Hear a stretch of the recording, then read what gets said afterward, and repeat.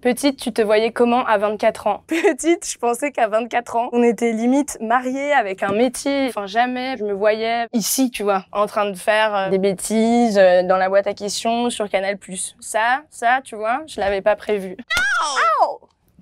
Putain, j'ai rêvé de faire ça toute ma vie, quoi.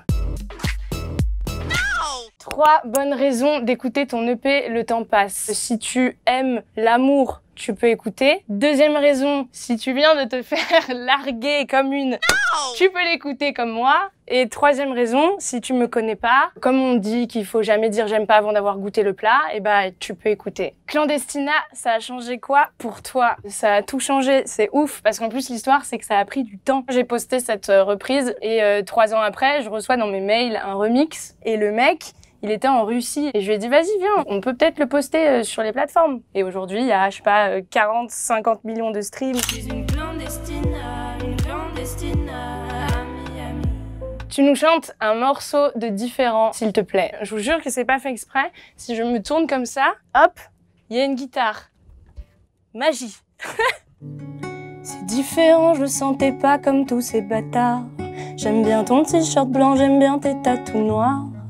Je prendrai soin de toi comme j'ai pris soin de personne. Et si tu me crois pas, je te laisserai fouiller mon téléphone.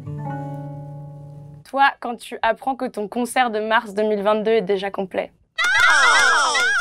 Du coup, il y a une deuxième date. Grâce à ça, je vais pouvoir jouer au Trianon. Et ça, c'est un rêve de ouf. Elle en a pensé quoi, Aya Nakamura, de ta reprise de Doudou? Je sais pas. Elle m'a pas dit, elle m'a pas répondu. Elle doit être sûrement très occupée. Je pense qu'elle a pas vu le DM, elle a pas vu la vidéo passer. Aime-moi, Montre-le-moi, doudou.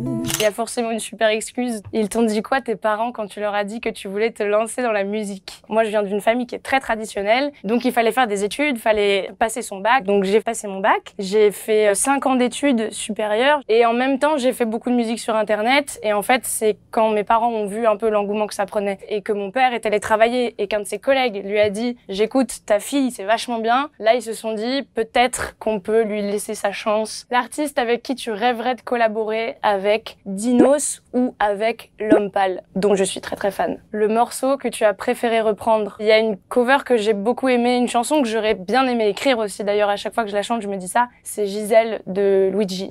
Tu ne vis que pour les miroirs, le regard des autres. Ça serait quoi ton objectif pour cette fin d'année 2021 De réussir à ne pas trop manger de foie gras lors des fêtes de fin d'année? Tu nous rechantes un morceau de la cover de Femme Like You. Donne-moi ton cœur, baby, ton corps, baby. Donne-moi ton bon vieux funk, ton rock, baby, ta soul, baby. Chante avec moi, je veux une femme like you. Pour m'emmener au bout du monde, une femme like you. Eh, il y a beaucoup de questions en fait. Je pensais y allait avoir trois questions et qu'après on allait prendre un café quoi. Check du coude.